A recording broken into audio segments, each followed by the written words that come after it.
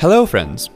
The calendar feature of Mozilla Thunderbird allows you to control how dates appear in tables and exported text. Here is how you change the date format. Right-click on the Mozilla Thunderbird shortcut icon and then click Open. When Thunderbird opens, click on the Events and Tasks tab at the top and then click Calendar from the menu that appears. When the calendar opens, check the date format. To change the format as per your preference, click on Start and then click on Control Panel.